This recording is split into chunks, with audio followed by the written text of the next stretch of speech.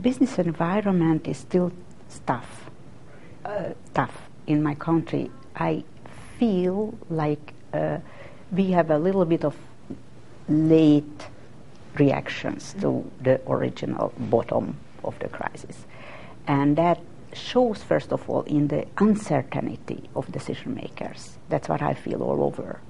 And they are holding back not only with the decisions, but they also don't want to think about the future, don't want to spend into the or invest into the future. What they say in a practical level is practically, no, I can't buy meters now for a tomorrow project. I only can buy meters for what I use today as a project, and I already have finished, so or have it in mind for the next week.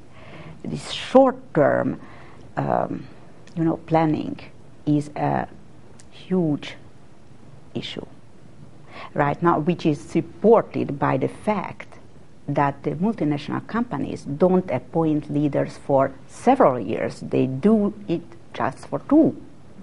And for somebody who is, you know, a leader of an organization for two years, what is the point to develop leaders? What is the point to really hire good people?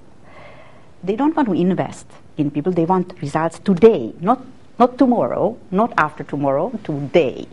And they feel they can have other means than investing into people, which is fear or, you know, other impacts on people, other type of motivation. So I think that makes a huge pressure on everyone, this short term thinking right now. And that's the business environment.